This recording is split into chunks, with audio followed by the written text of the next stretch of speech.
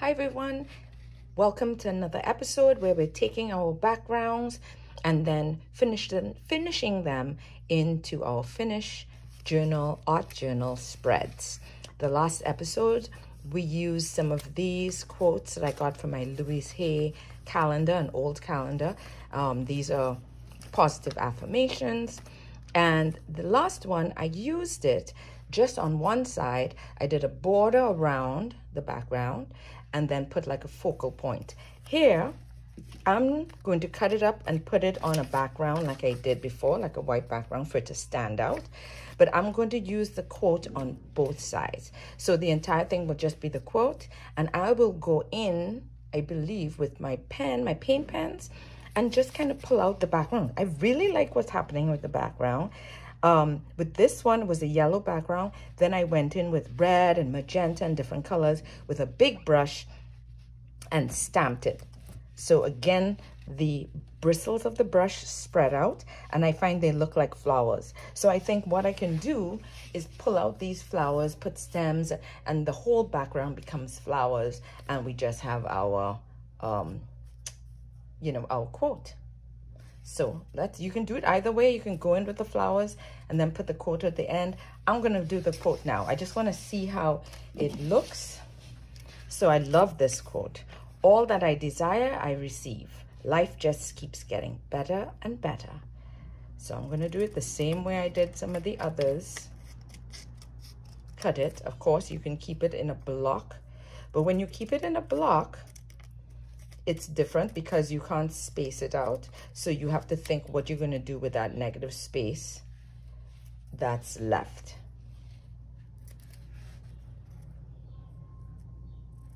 Kind of want it even, the green background and the white writing even on each side. Maybe take off a little bit more here.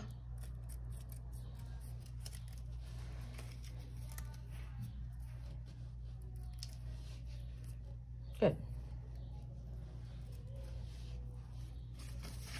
And then, you see, it can stand up there, but I feel like it needs something else to stand. Like the background is so busy, it needs to be separated. And so that's why I put it on a border. And you can put it on a black border or darker um, color border, you know, dark blue or something. I'm going to do with the white. That always pops it. But the main thing is a contrast. We talk about contrast all the time.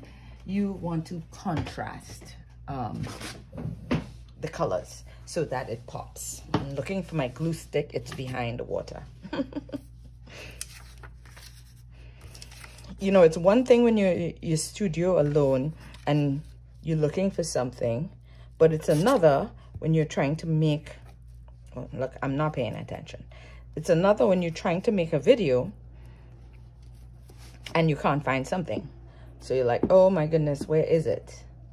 Okay, I wasn't paying attention. I put the glue there. I don't want to put the glue. You can put the glue and then the um, quote after. But around it will be sticky. So that's why I didn't want to do that. Some situations I do when we're gluing it flat and we don't have like a border around. This one, I want my white border. Already you can see it is going to pop on that very bright and very busy. Here you go.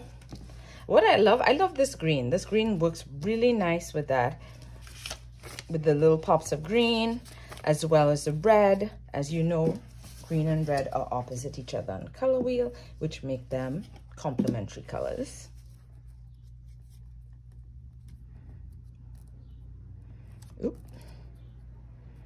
This one is too long. That's okay. I'm just going to take off the extra green on either end.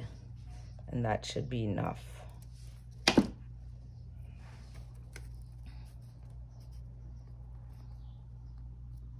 Yep, here we go.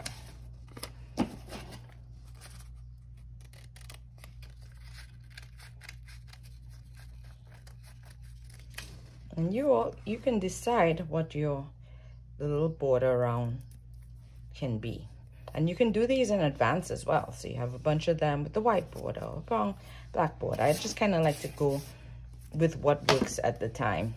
But it's always nice to have cut out um, text waiting, ready to go, boarded up, etc.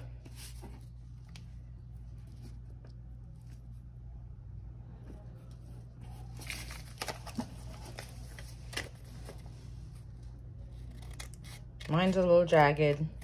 Don't worry about that.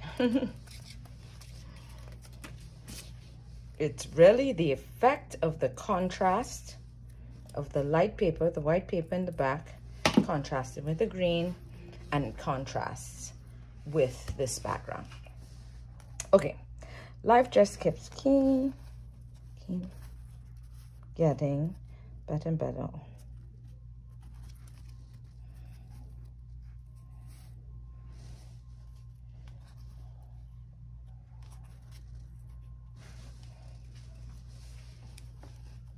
Okay, so I changed my mind.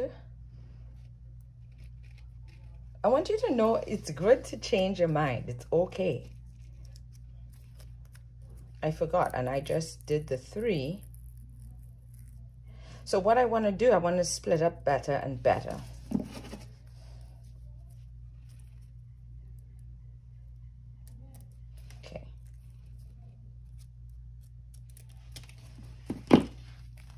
I want to do it like that. Life just keeps getting better and better on this, this side alone.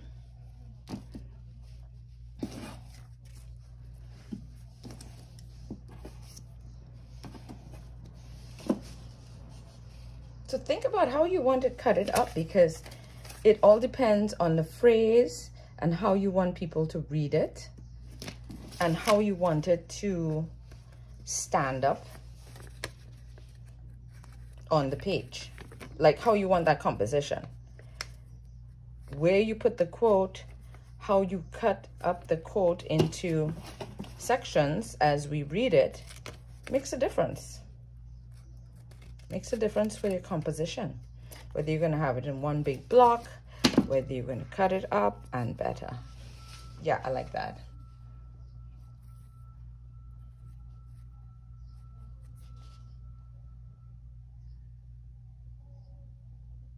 Yeah, I think I'm going to put it just like this. I think I cut it up there. I'm going to leave it. I like that. So what I wanted you to see in this one is that there's no focal point. The focal point is the text. The focal point is a quote and how I cut it up, how I present it, how I glue it down, how I create composition, with it being, it's the focal. And having that little white background helps.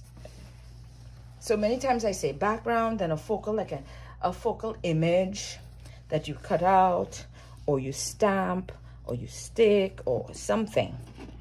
But you don't always have to. Your focal can be your text. And in this case, that's a focal. And then what we do what I'm just going to do, I'm going to go in and, um, you know, highlight some of that background and just jazz it up a bit. So it's still the background. So I have a very detailed background and I am going to, you know, then I'll have the background and I have the, the letters, the quote. See how it is?